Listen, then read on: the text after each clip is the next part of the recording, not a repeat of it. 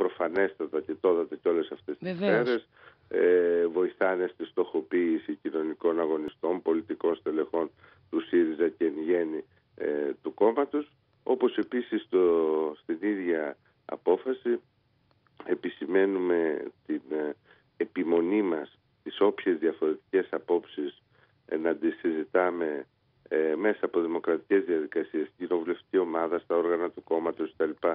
Πριν να βγαίνουμε παντός του επιστητού. και αυτό, και αυτό επίσης ο κόσμος νομίζω ότι το ξέρετε πολύ καλά, το έχει επισημάνει, ότι μια εικόνα μερικές φορές βαβέλ και διαφορετικών απόψεων ας πούμε και ε, επιμονής αυτές λειτουργεί εντελώς υπονομευτικά και αποσταθεροποιητικά για την αριστερά και το ΣΥΡΙΖΑ. Είναι το σημείο που σας χτυπάνε ναι, κύριε Βούτση. Ακριβώς. Ένα δεύτερο σημείο λοιπόν ήταν αυτό. Ένα τρίτο σημείο ήταν ότι επίσης ασκούμε πολύ αυστηρή κριτική στην ε, ε, αμετροέπεια η οποία κάποιες φορές υπάρχει ε, σε ε, δηλώσεις ε, βουλευτών μας ή στελεχών η οποία επίσης απάδει, επιτρέψτε μου την έκφραση, της κουλτούρας και των αξιών του χώρου. Και σας το λέω ευθέως ότι αυτό, αυτή η επισήμανση εμπεριείχε και αυτά τα οποία είχαν γραφτεί σε σχέση με τον Πέτρο τον Τατσόπουλο περί προβοκάτορα, ε, άλλους χαρακτηρισμούς να μην σας τους λέω τώρα σωστά, σωστά, τηλεφωνικά. Ναι, ναι. Αυτό το πράγμα δεν είναι ούτε διάλογος, ούτε αλληλεγγύη. Εδώ υπάρχει ανάγκη μιας αλληλεγγύης σε μια πολύ δύσκολη πορεία που έχουμε πόλεμο, έτσι, γιατί έχουμε πλήρως συνείδηση αυτής της κατάστασης. Αυτή λοιπόν την ανακοίνωση την ε, εκδώσαμε, ε, ήρθε, σε, ε, ήρθε στη δημοσιότητα και ταυτόχρονα ήρθε και σε γνώση βεβαίως και του ίδιου του Πέτρου του Τατσόπουλου. Υπήρχε μια συμφωνία με τον ε, πρόεδρο του ΣΥΡΙΖΑ ε, να γίνει μια συνάντηση του βουλευτή μας. σε αυτή τη συνάντηση από κοινού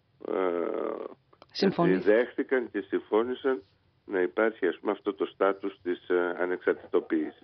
Κύριε Βεβαίως υπάρχει ένα αγκαθάκι. Το θέμα της έδρας. να σας το πω, ναι.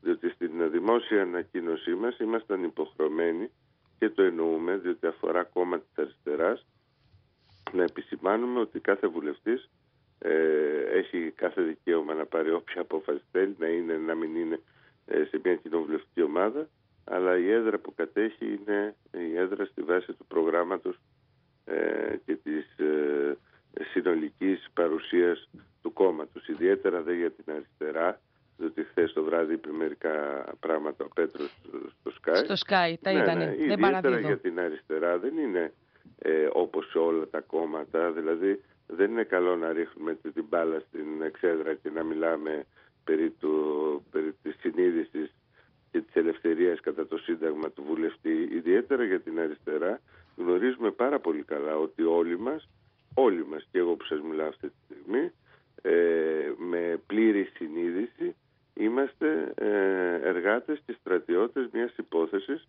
την οποία ακόμα και η οικονομική της επιτρέψτε μου να σας πω διάσταση δηλαδή του πώς κάνουμε την εκλογική μας καμπάνια, δεν έχουμε ούτε προσωπικά υλικά, ούτε Σαφώς, προσωπικές συγκεντρώσεις.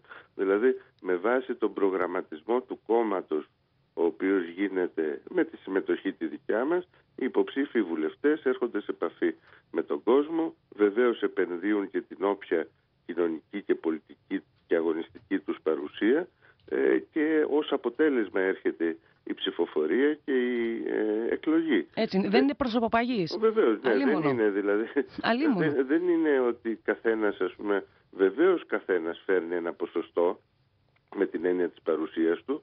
Ε, καθόλου δεν σημαίνει ότι ο κομματικός μηχανισμός, η κομματικός σωλήνας, οι διάφορες ανοησίες τις οποίες χρησιμοποιούν την μεταμοντέρνα και μεταπολιτική ε, σήμερα ρητορία ε, βγάζει ανθρώπους οι οποίοι έχουν λιγότερη κοινωνική παρουσία ή φέρνουν λιγότερα σε ένα ψηφοδέλτιο από κάποιον ας πούμε, που γράφει βιβλία ή που ε, λέει ποίηματα ή που έχει μια εξαιρετική επιστημονική ή ακόμα και αν είναι στην Ακαδημία.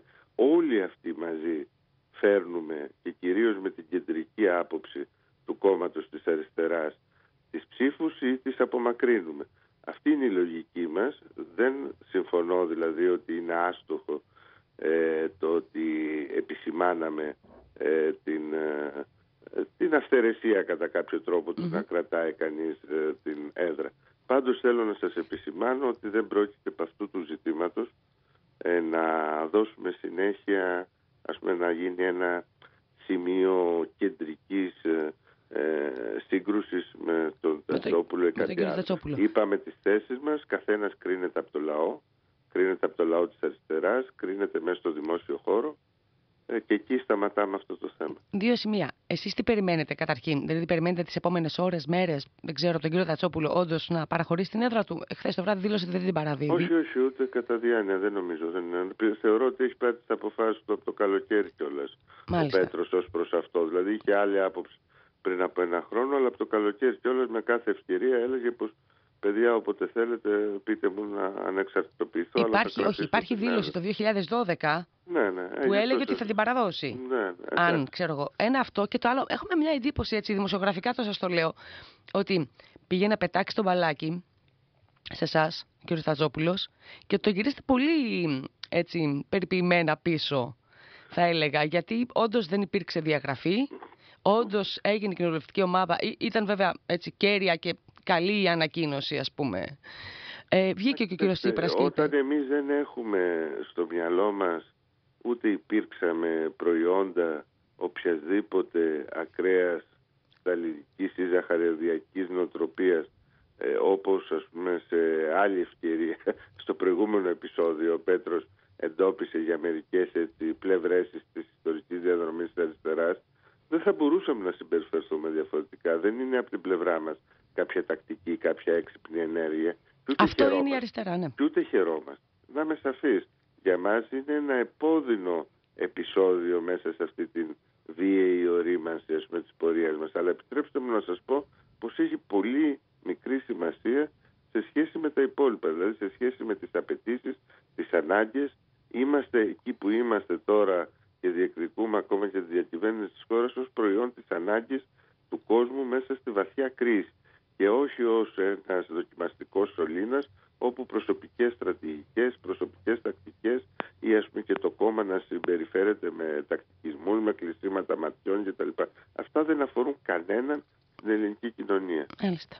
Σας ευχαριστώ πολύ κύριε Βουτσίνα. Έχετε καλή μέρα. Γεια σας.